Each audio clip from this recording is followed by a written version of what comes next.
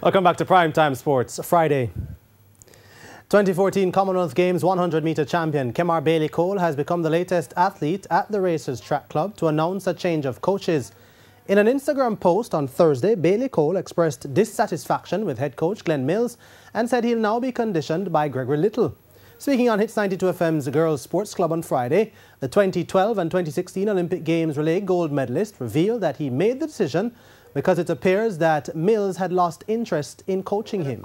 As, as I stated in the um, in the in the post, uh, the coach wasn't there. I didn't see him. It, um, running up the trials, it didn't even show any interest. Even at trials, he came at trials and he just walked by us. Bailey Cole also said that the world-renowned coach may no longer be motivated.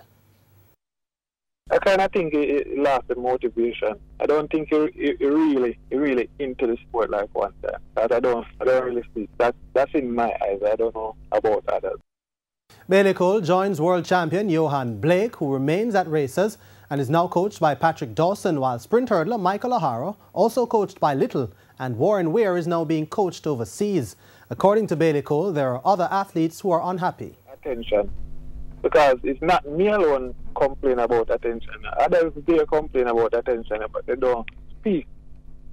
And because I think because coach take care of some of them, you know, because they, some of them young and coach take care of them. They, they, they really don't want to go and talk because they don't want him to, you know, give, give, give them a bad a bad eye or you know feel certain type of way. Mm they, they can't take care of themselves yet.